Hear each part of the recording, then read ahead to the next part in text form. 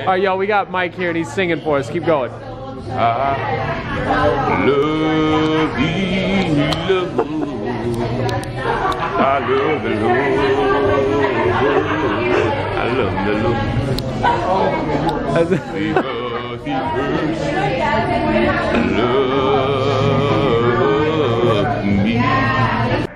Well, hello there, y'all. What's going on? How's everybody doing today? Hopefully wonderful. I am currently in this crazy pool hall thing at these cool apartments, thanks to uh, just one of my Christian brothers that I ended up meeting recently. You'll see this beautiful home.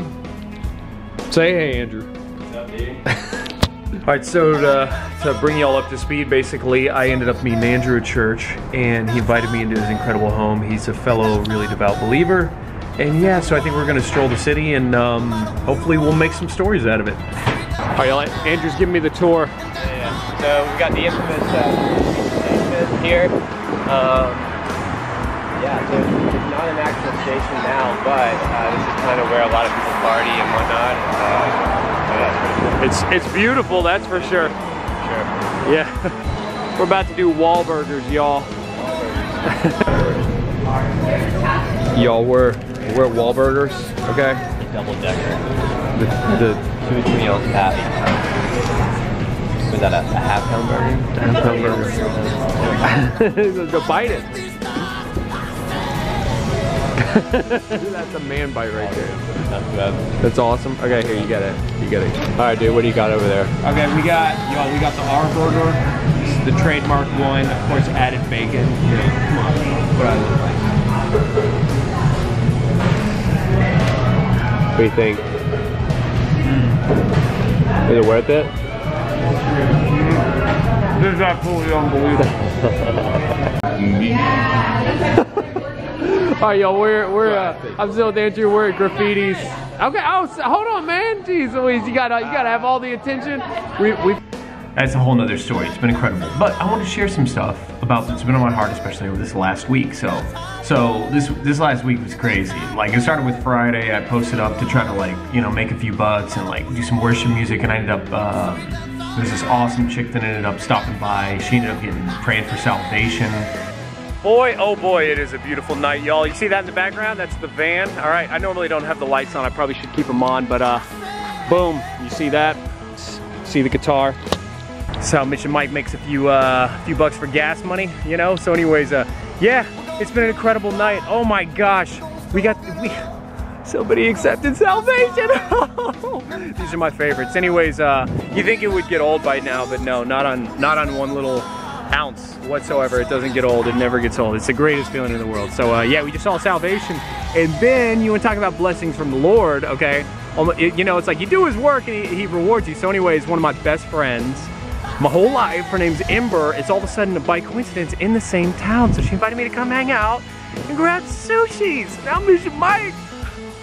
Salvation sushi. Ah, oh, it's a good night, y'all. I hope you're having a good night. And uh, yeah, all I can tell you is sometimes you just need to post up somewhere and just sing worship music and walk strangers through salvation, and, and the Lord rewards you. That's how, that's how life, isn't funny how life works? Anyways, hey, love you guys. Talk to you soon. never gets old. And then uh, right after that, talk about a blessing from the Lord. So, you know, sometimes when you have like a hard week or a long week, you know, it's like, I don't know, He just rewards me. It's, it's always unexpected. But one of my best friends, her name is Ember, uh, she ends up coming into Orlando, ends up being here at the same time I am, and they're going to Disney World. So they invited me to join them for sushi dinner. All right, y'all, I'm having sushi here with all these lovely ladies. We got Ember, Sarah, and Leslie. Lindsay. Lindsay. Leslie. Why don't you leave the jokes to the funny people at the table? Very well. I want to apologize to everyone. I'm sorry about that. I'll try to edit that out. How cool is this? Fireworks in Orlando. Isn't this great? Yes! okay, so in one of the hotels here, y'all, they have this creepy little carousel, and the lady referred to it as a corridor. So, signs of the Illuminati already.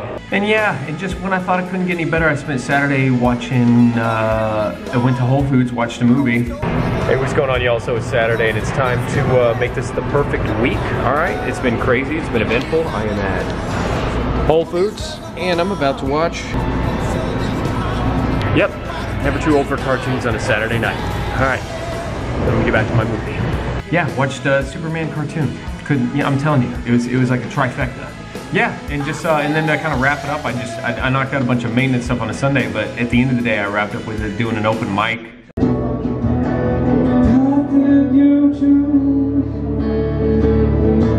Know, it was a lot of fun. Afterwards, there, I got to try to talk about the gospel with this guy there. We got like this debate, and you know, I'm always down for those. It's always a lot of fun. But um, you know, if there's just something biblically that just has kind of really stuck out to me this week, is look, y'all, I'm not immune to it too. We all have to deal with our problems in life. We all have to deal with our hardships. We all got to deal with whatever, you know. But that that's life. But a lot of the times we go through this where we compare how our life looks to other people. And if somebody looks in this temporal moment, like in this, okay, so this is the past, this is us here, and this is the future. If in this moment we look over there and it looks like they're doing well, we begin to think that, okay, let me figure out what they're doing so I can match their success, okay? And biblically, there's this this uh, one of the kings there is named one of the kings in early Israel. His name's uh, or Judah. His name's Ahaz, and he gets beat by this one group because he's not loyal to the Lord. And what it says is that uh, in his time of trouble, King Ahaz became ever more unfaithful to the Lord. He offered sacrifices to the gods of Damascus, who defeated him. All right, let's pay attention to that. For he thought, since the gods of the kings of Aram have helped them, I'll sacrifice to them so that they will help me. But they were his downfall and the down, downfall of all of Israel, which is God's people. So basically, it's like, look, sometimes in this temporal moment, we forget to look at the past, present, future. We forget to look at everything as a whole. And so what we end up doing is we start looking at what is somebody else doing well. And maybe it looks like they're doing well in a worldly sense because they've accumulated a lot of things. Whatever it is that our heart desires in an earthly sense. Maybe they have a, a lot of money, maybe they have a lot of security, maybe they have like some cool fancy houses and vehicles and toys, you know, or uh, maybe they got a relationship that looks great from the outside looking in, but, but that's, that's a fleeting moment. These very people could be on their way to hell in the afterlife, you know? So it's like we have to learn to see a bigger picture. And we can't learn to trust in other gods because they defeat us. You know, it's like no matter what, if there's one thing we see biblically time after time, it's that we have to just trust in the Lord, and we got to you got to just do His will, and you have to accept. Jesus tells us we're not going to be of this world, and we can't look at the world to ask ourselves if we're adding up or if we're doing a good job. So if there's just a big takeaway of just kind of this week the Lord's really been putting on my heart, it's like don't look around, don't look to the left or to the right. You pick what God told you to do, the Great Commission, how you're supposed to live your life, and you go after that and you seek that first in doing His will, and everything else has to fall by the wayside. And you are going to no longer measure up to the people around you.